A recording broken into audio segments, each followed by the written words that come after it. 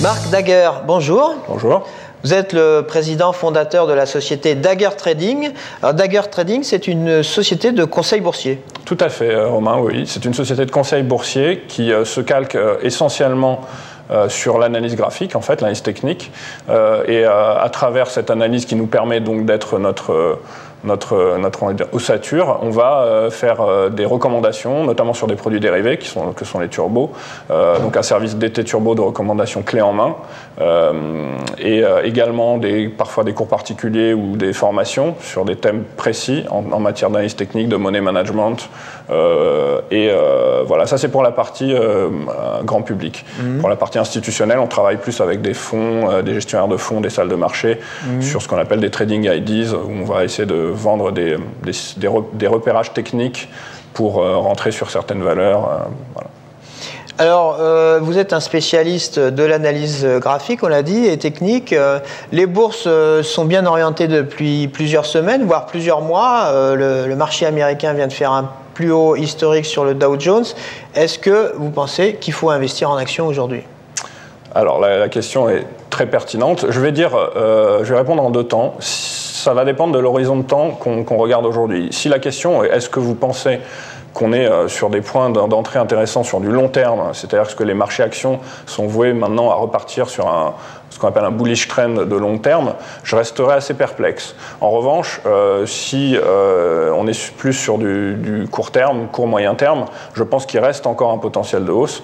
Maintenant, on arrive quand même sur certains indices, sur des zones de résistance assez importantes.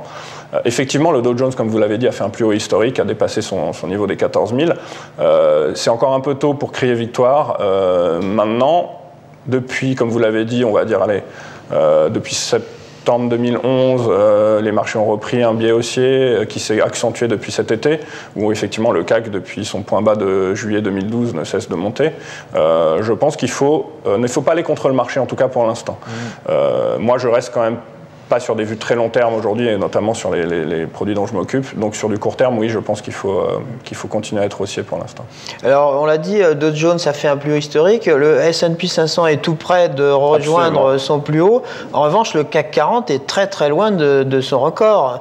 Alors est-ce qu'il ne faut euh, pas acheter du CAC 40 ah, alors il y a deux choses. D'abord, la corrélation euh, marché américain, marché européen ou même marché français, puisqu'on parle du CAC, n'est pas euh, toujours unilatérale. Hein. Il est arrivé euh, qu'il y ait des décalages de, de, mouvements entre ces, deux, ces, deux, zones géographiques. À savoir, si on regarde d'un point de vue empirique sur du long terme, il y a une tendance de fond qui est souvent commune, mais les points d'inflexion peuvent avoir des décalages de 3 à 6 mois parfois. On l'a vu notamment assez récemment, si on regarde depuis les années 2000 par exemple, on a eu un point bas, un premier point bas sur le marché euh, européen, donc français également, en mars 2003 qui lui est arrivé euh, un peu plus tard sur le, un peu plus tôt pardon sur les sur les États-Unis.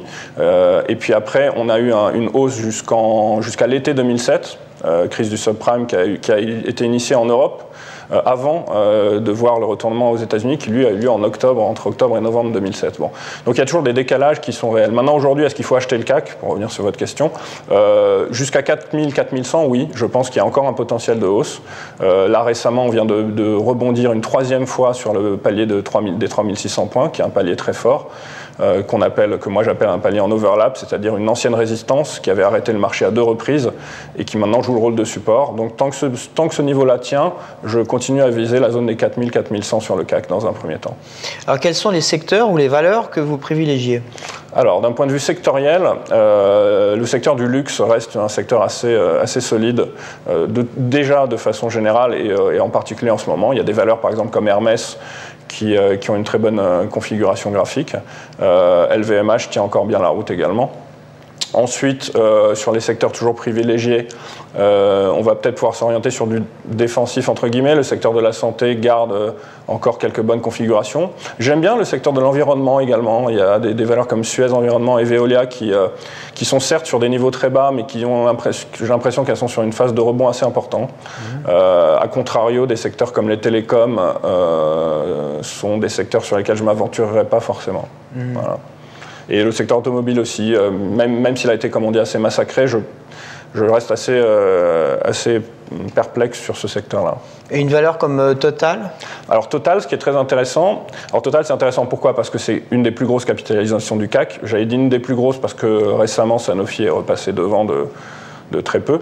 Euh, et Total reste depuis un, certain temps dans une phase de congestion en fait, et euh, depuis son rebond euh, qui avait eu lieu en, même temps que le rebond des marchés en général en, 2003, on est, le titre est confronté à une zone de résistance très forte entre les 41, 41 et 40 euros. il a buté déjà 5 reprises sur ce niveau-là, et tant que ce niveau tient en tout cas pour l'instant, il est difficile de repasser haussier sur cette valeur, qui est assez difficile à lire, qui est une valeur dite pétrolière, mais qui n'est pas, comme on l'a vu forcément euh, corrélé à, l'avancée des, cours du pétrole, euh, parce qu'il y a d'autres contingences qui rentrent en compte. Euh, maintenant, aujourd'hui, je, pour l'instant, à court terme, je suis baissier sur Total. Marc Daguerre, merci. Merci à vous, Romain.